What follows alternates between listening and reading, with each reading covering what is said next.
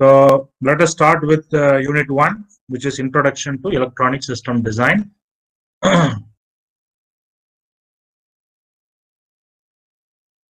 so in the previous class, we discussed what is electronic system design means. And we took a simple case study. We took a robot example. We designed that particular robot by using uh, motors and we designed the drivers for that. And then we made the robot uh, to move forward reverse left and right depending upon the requirement by a given time delay by using a controller. And then eventually we saw what are the various components in that particular uh, robot product. So if you uh, take that particular robot the major components that were involved in the robot component was uh,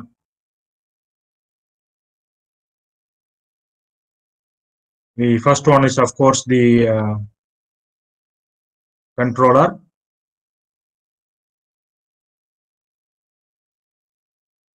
Okay, the Arduino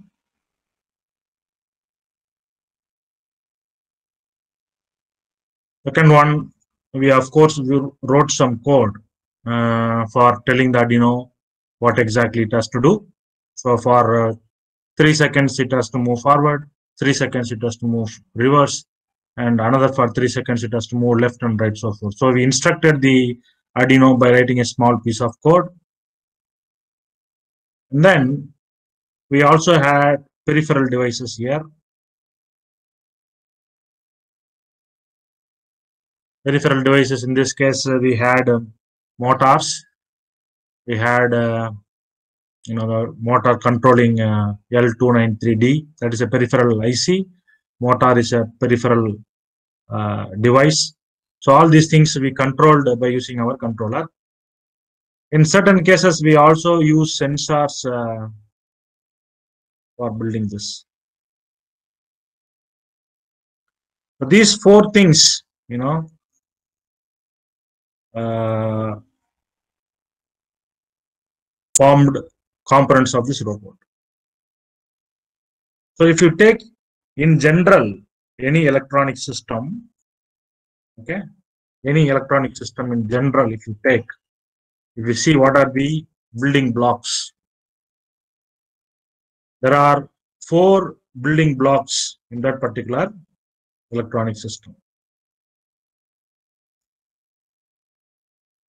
The important building block or the uh, you know the top of the pyramid of that particular thing is the processor or the controller.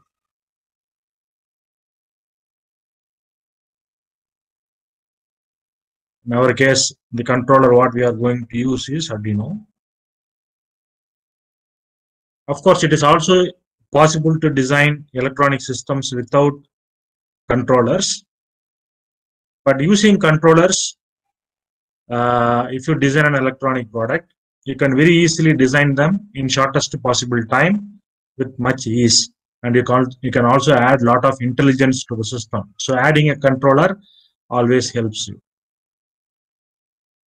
A controller means any device which works based on a program. Okay, so in this case, we are using an Arduino controller. So that is the first block. The second important block, okay, so the second important component that we need is the coding part. The code is a very important part that help you to give intelligence to this controller. The third important part is the peripheral device.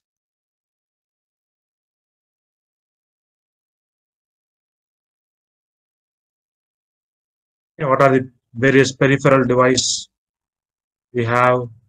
We have leds we have switches we have lcd displays we have relays we have motors.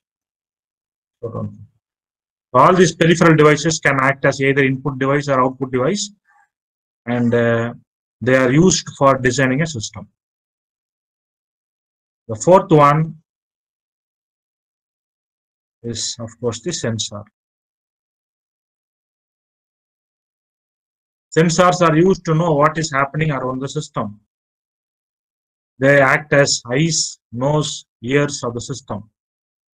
There are various sensors available to sense various parameters.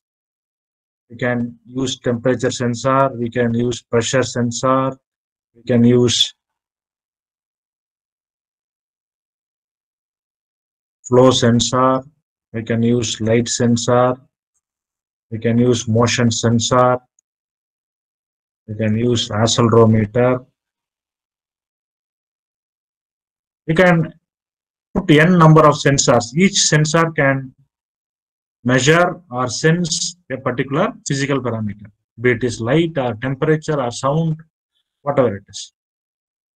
So putting it all together, you form an electronic system. So if you take an electronic system, majorly you have four blocks. One is a controller.